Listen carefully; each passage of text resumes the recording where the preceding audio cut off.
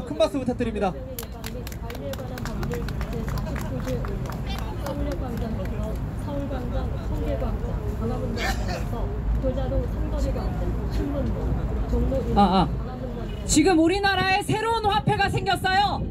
이제 더 이상 원하고 달러하고 금만 화폐가 아닙니다. 우리나라의 새로운 화폐는 뭐냐? 마스크예요, 마스크. 자, 이제 1 마스크가 얼마까지 올라가는지 그리고 1 마스크의 힘이 얼마나 대단한지 국민들의 생명을 얼마나 문재인 좌표독재 정권이 농락하는지 우리는 실시간으로 보게 될 겁니다. 여기 있는 이게 제 마스크예요. 저도 마스크가 없어요. 면 마스크를 사골이 되도록 빨아 쓰고 있어요. 집에 들어가면 손 씻으면서 마스크부터 빱니다. 얼마나 많이 썼는지 마스크 가지고 대체 얼마나 국민을 괴롭히나요? 이 코로나 사태가 시작했을 때 이제 집안에 좀 사이가 소원한 어른이 있었어요. 마스크를 선물하는 거예요. 약소하지만 이거 받고 화해하자. 그리고 또 이제 일을 힘들게 해요. 어쩌다 약국에서 면 마스크를 세 개를 샀어요. 어, 힘드시죠? 마스크 하나 받고 힘내세요. 이제 대한민국의 화폐는 마스크입니다. 그리고 이 사태는 누가 초래했느냐? 안전 불감증, 무능, 무대책, 무책임, 문재인 좌파 독재 정권이 바로 대한민국 국민들을 이 코로나 재앙, 중국 폐렴 재앙 이 한가운데로 몰아넣은 것입니다. 지금 국민들한테 뭐가 필요하겠어요?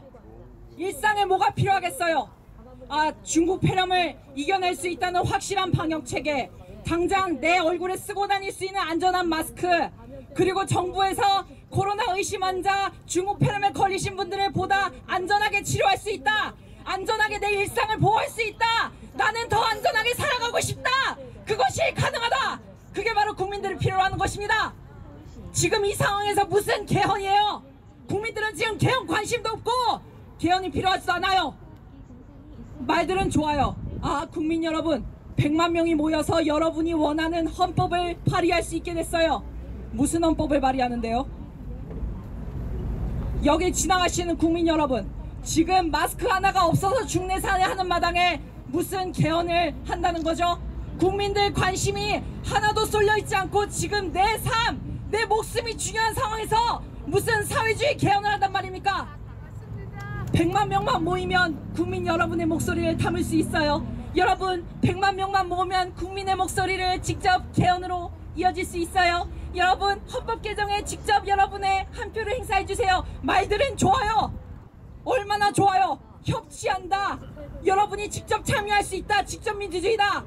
하지만 여러분, 그 실체는 100만 명만 모이면 그 결사체가 마구잡이로 대한민국을 농락할 수 있다는 데 있습니다.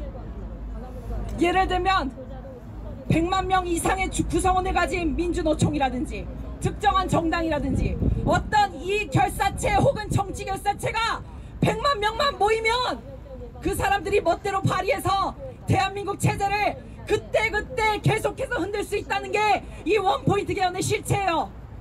여러분, 대한민국 국민은 5천만 명으로 이루어져 있고 지금 우리는 힘들지만 정말 어려운 과정을 통해서 지금의 자유민주주의 대한민국을 이렇게 냈어요. 여러분은 당당하게 말씀하셔야 됩니다.